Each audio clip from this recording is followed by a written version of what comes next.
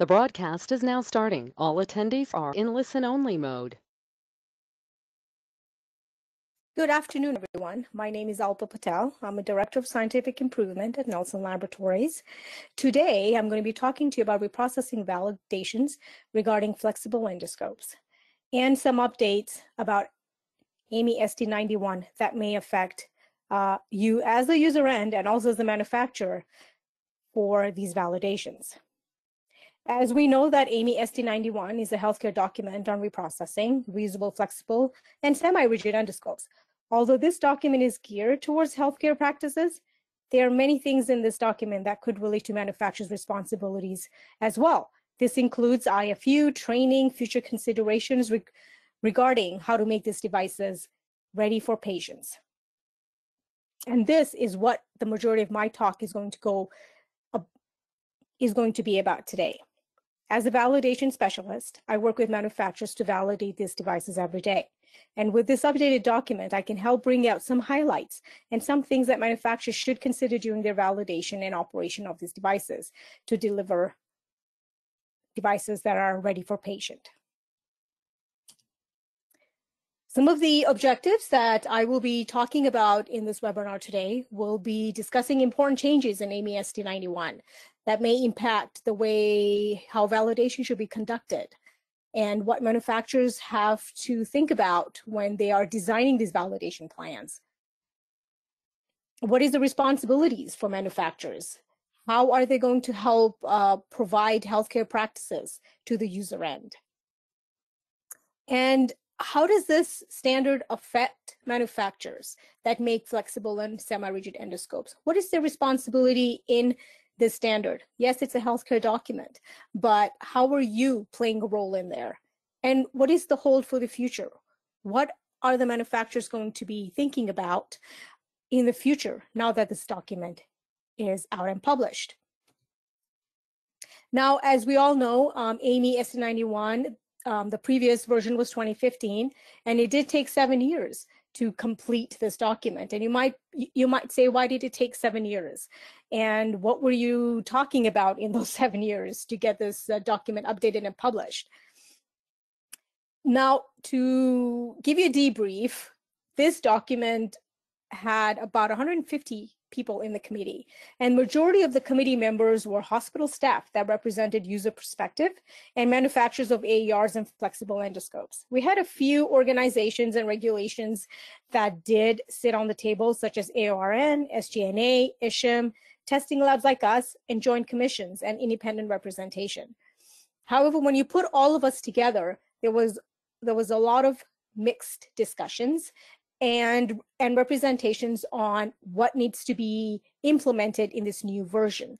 And how are we going to go about implementing all the new content to current version that what was previously required? And how are the healthcare facilities going to come to par with the updated 2022 standard. And and what are we going to do with the standard and how are we going to implement it? So we have to give some time for healthcare to get into the space to make sure that they are updated with the current standards. And that is some of the things that i'm going to be talking about as we move along.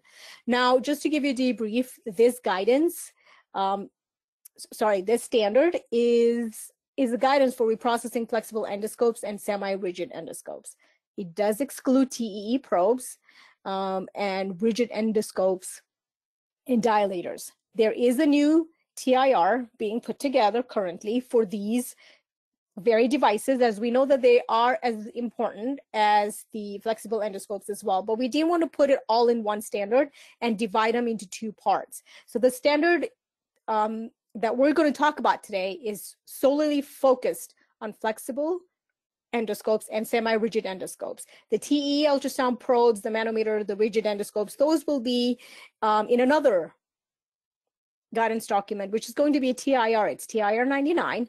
They're working on it right now, and you should be able to see that shortly.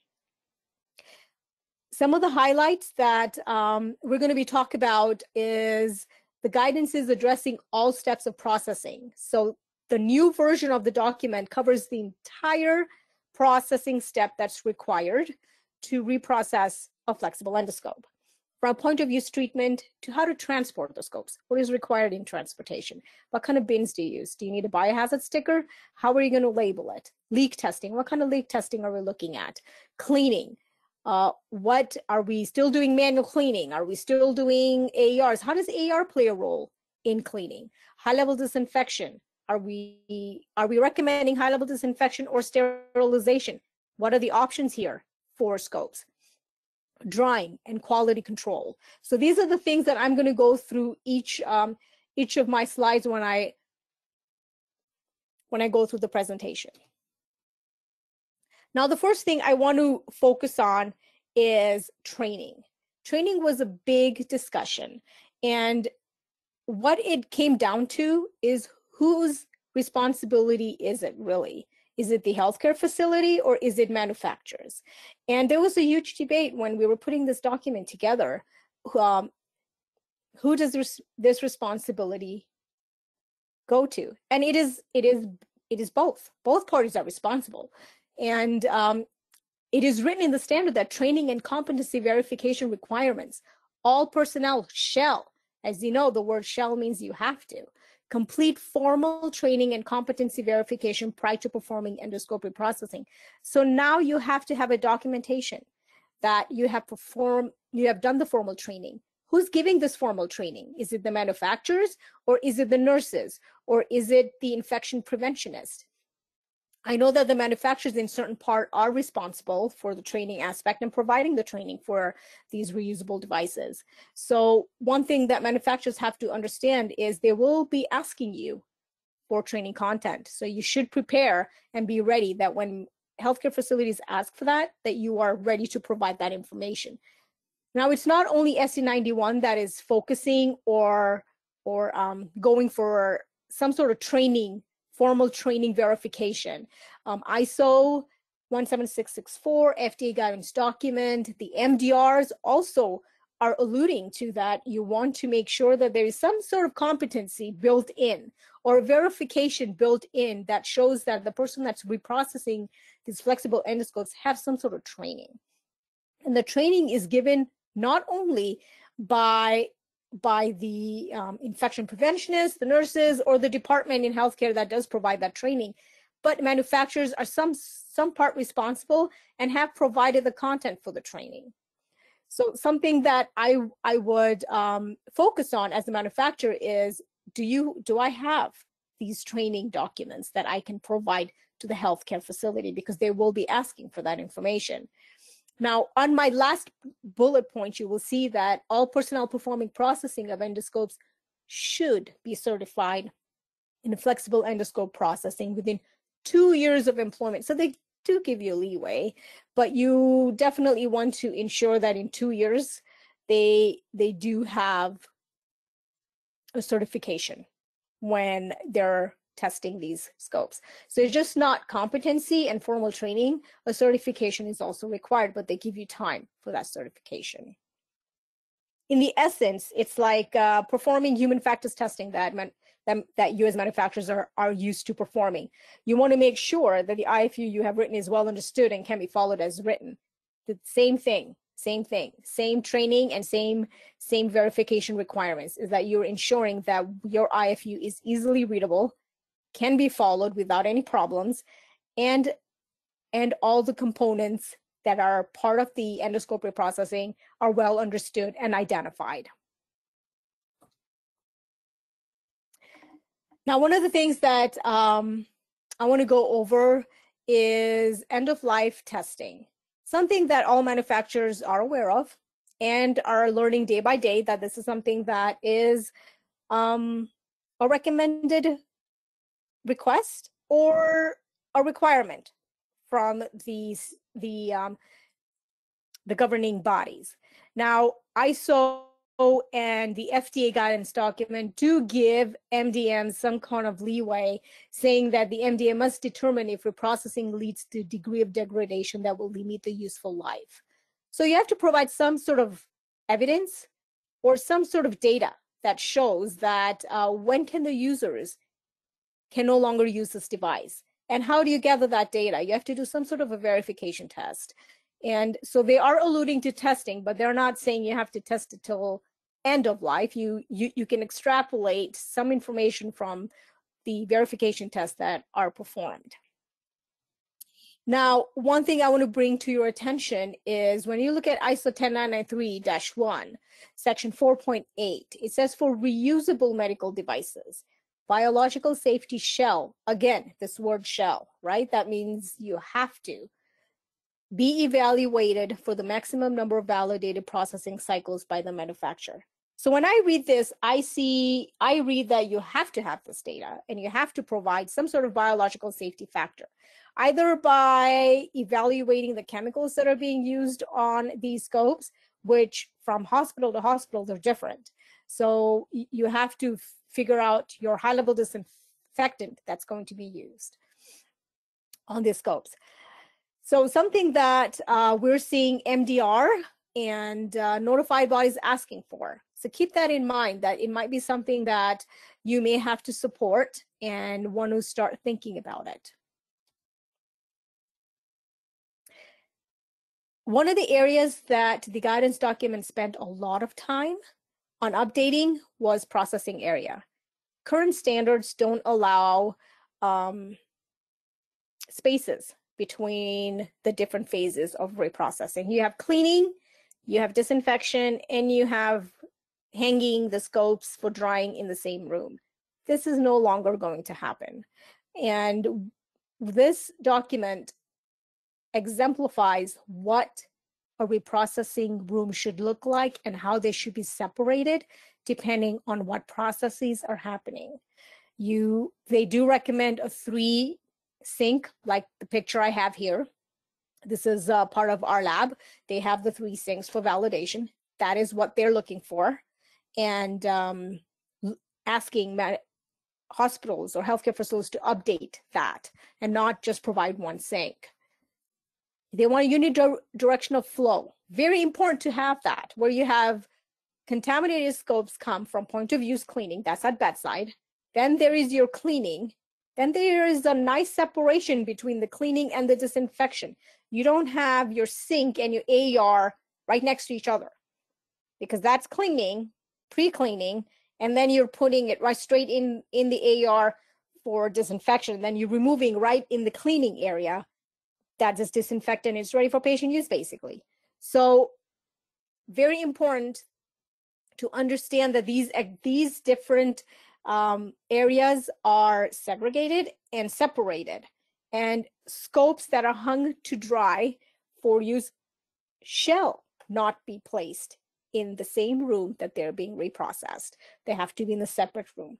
Why I'm bringing this up for manufacturers is when you go to the healthcare facility, you want to make sure that they are designed in that manner. Because if anything happens to the scope and it is linked to that it wasn't reprocessed properly, they're not looking at manu they're not looking at healthcare facilities, they're looking at manufacturers. As you all know, that if something happens, it's the manufacturers that are going to be answering to that question.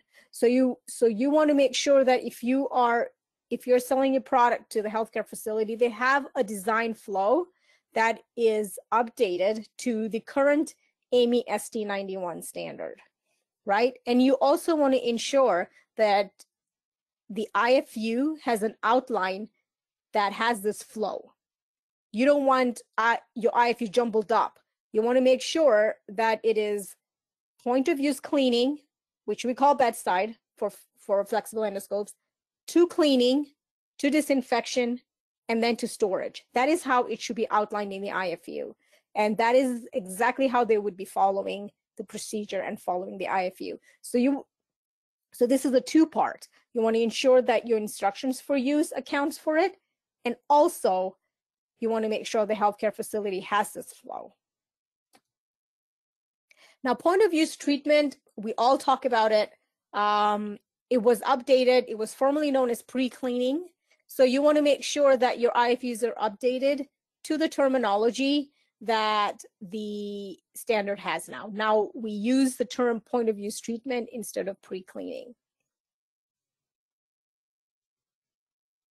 You manufacturers are also in, in known that uh, point of use treatment must occur immediately after use, which we see in bedside cleaning, and how we should be disconnected. There's a lot of information in the point of use cleaning on how to do this process in the clinical site.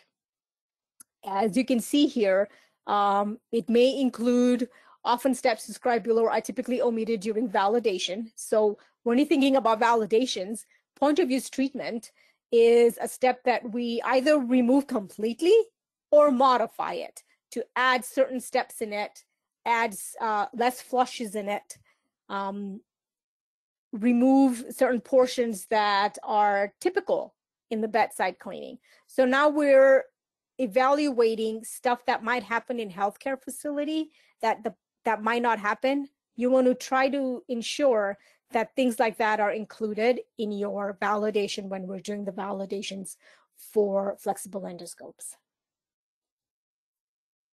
Water quality. This was a very, very hot topic when we were evaluating the standard. Water quality, you have to monitor and control water quality for manual reprocessing and ARs. You want to make sure that the water that's getting into the AR is critical water when it's when we're doing HLD and final re, final rinses. And the filter that's used for that is definitely performing to its expectations. And when do you change those filters? And how do you change them? Um, those are the things that manufacturers have to provide information on, right? So that is your responsibility here that they are going to be looking for. And also on the testing, manufacturers should provide training on how to obtain water from AR, right? What port are they going to pull the water from? And how are they measuring it? Manuf manufacturers should provide training on when filters need to be changed. Like I talked to just right now, filters are number one problems for contaminated water getting in the ARs. A lot of the times when we were talking in in the committee, the users were like, we don't know when to change it. We just see brown or black and we then assume that, yeah, this is now time to change it. Water quality, feed water that comes in from the municipal are at different grades in different states. So when you test your filters, you want to test it to a point where you're you're looking at the most highly content of ionic molecules in it so you can uh, understand at what point are your filters expired and you sometimes it's not only expiration date you have to worry about you have to worry about when does it start to clog give examples so healthcare facilities know when to take care of it because it is not when it um, healthcare facilities problem if the filter is clogged and is providing bad water so that is going to be the AR's responsibility at that point. So you want to make sure that that kind of training is well documented and given. Periodic tests should be performed. It does it does specify that for AERs for microbial assessment of AER due to cross contamination from scopes. So they are asking um, healthcare facilities to do this. Now they don't know how to do this, so manufacturers have to come up with a plan to help them coach and how to collect and how to test. And what is the periodic? Every three months, every six months? What is the timeline here or the span that you're going to be performing these? And how are they monitored? What is the um, what is the alert? What is the action level?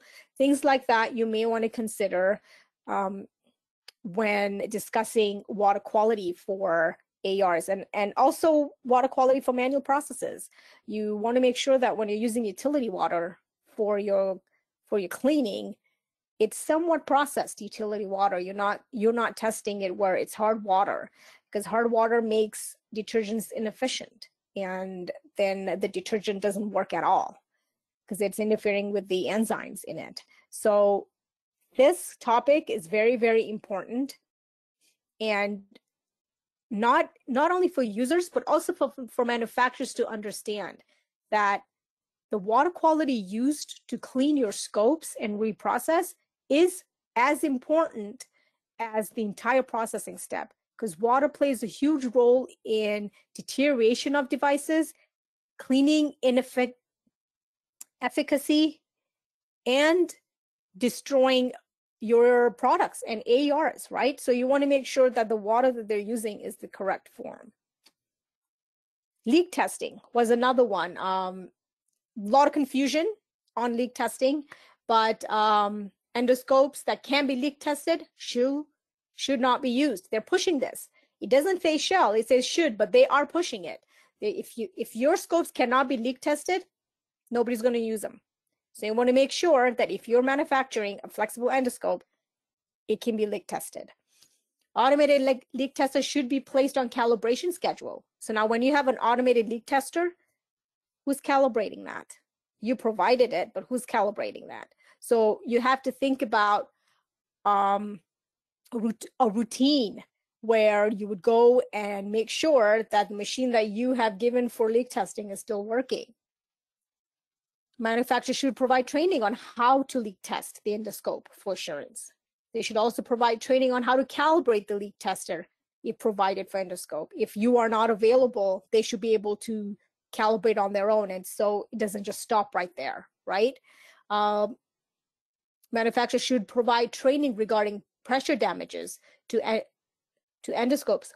What happens when you are using the wrong pressure and you've busted one of the channels, right? How how are we do what happens there? So you they need to understand why pressure is important and how to pressurize the scopes so you're not damaging them. If you don't give training on this, things can go wrong very fast. So it's very important that when manufacturers are providing leak testers or they come to know that they're using a commercial leak tester on your scope, you assess that factor and understand how those are put together. Updates of IFU to increase wet leak testing time to 60 minutes.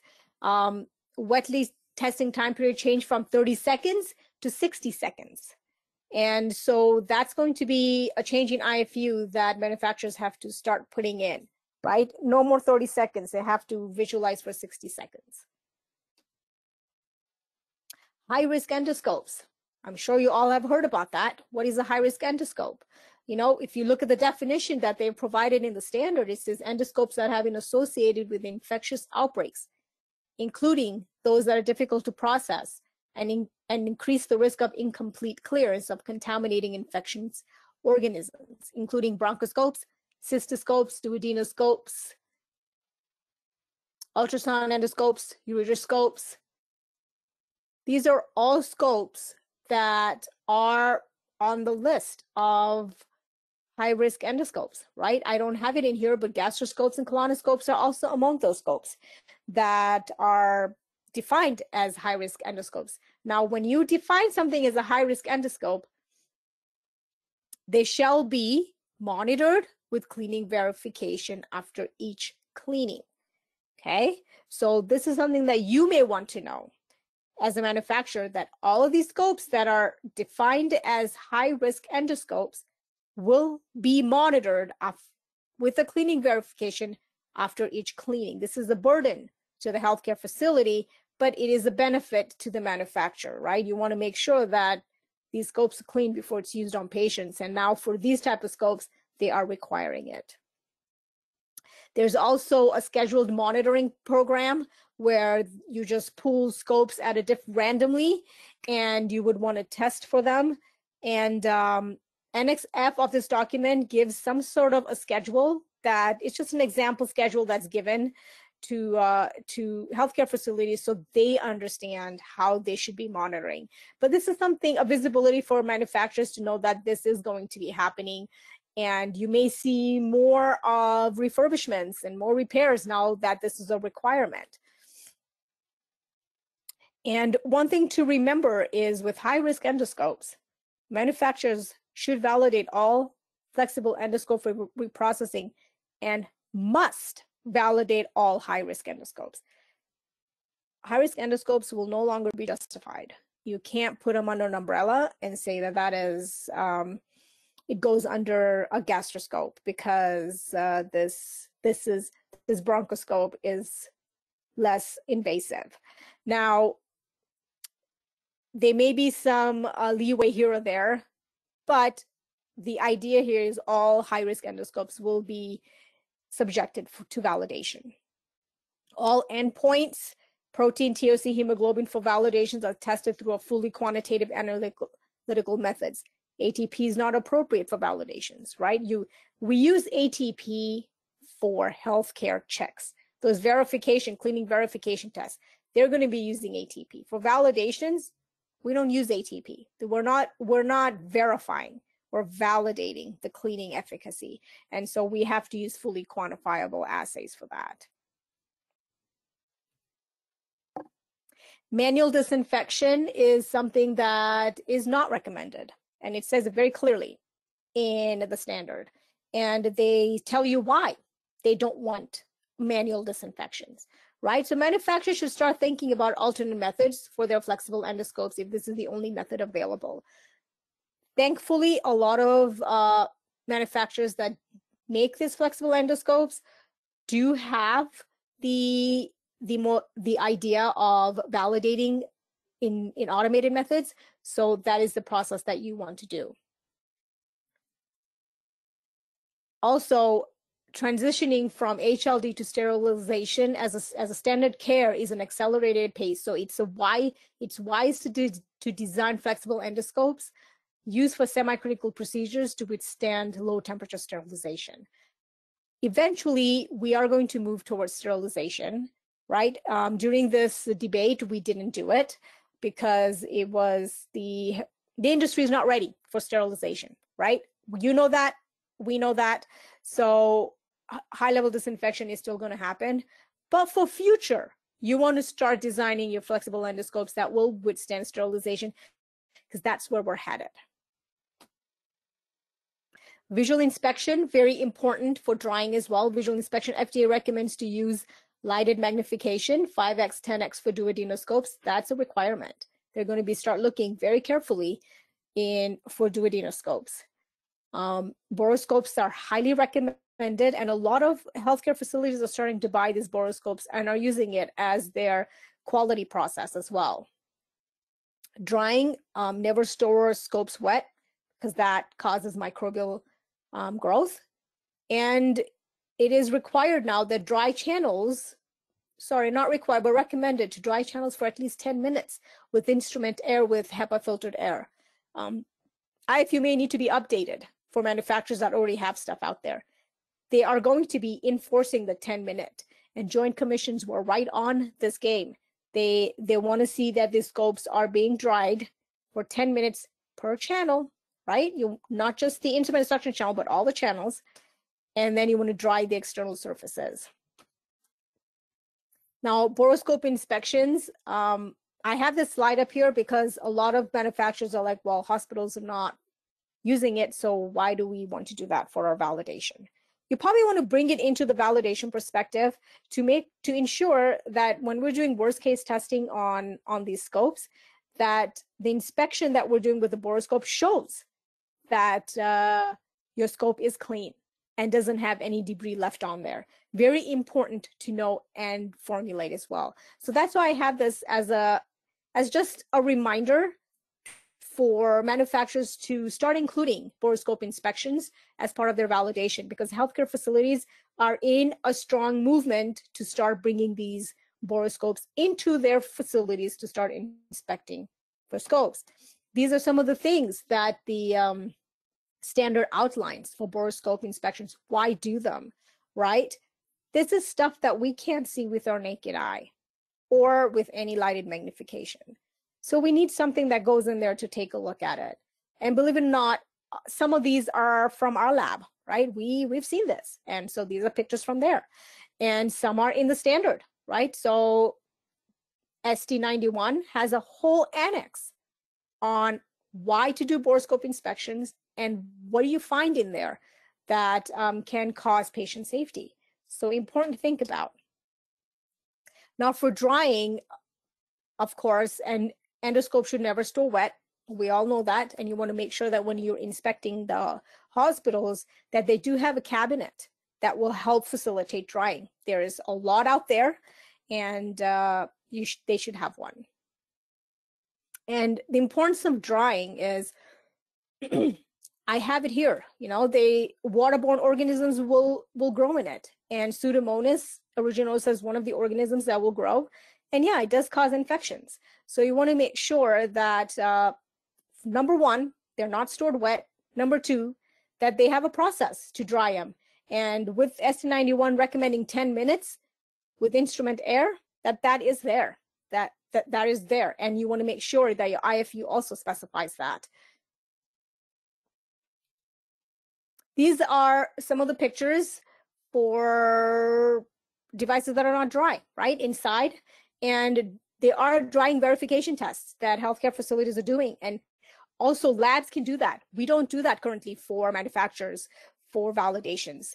Uh, there is no established acceptance criteria, so you know it's omitted. However, they are means to do these validations, and uh, we can help with the dry time verification tests. They have added a huge amount of uh, appendices and you will see several new appendices that are updated, right? Uh, purchasing of ARs, repairs is a big one. Uh, manufacturer's IFU conflict, visual inspection has been added, the pictures I just showed you, cleaning verification tests, what they are, how to do them, safety considerations, endoscope storage and risk assessment, and endoscope drying. And these are some of the pictures I took from on the standard just to um, give you an idea of what we're looking at when it comes to repairs. A big topic that was discussed, uh, who, who is doing the repairs and how are they performing it? And are they to the expectations that uh, the OEM has for them as well? So further reading will give you guidances on how to go about doing that. This takes me uh, to the end of my presentation, but uh, I just wanted to bring this slide up where we, as in Sotera Health Academy, uh, has this program that provides educational contact between Nelson, Sterigenics, Nordion, and Regula Regulatory Compliance Associates, a Nelson Labs company for customers to learn more about these topics that I talked about today and many other topics regarding biocompatibility, packaging, um, E&L. There's tons of content that uh, can help manufacturers learn more about the topics that are current in the industry and how are we evaluating those. Now, Nelson Labs is under the Sotera Health, along with our sister companies, Sterigenics and Nordion. So just to give you an outline of who Nelson Labs is and how we, we form under an umbrella of Sotera Health. Now, if you've been, this takes me to my slide where we have uh, my information. And if there is any questions or concerns or would want to learn more about this topic, please contact me and I'll be happy to go over anything you have. Thank you.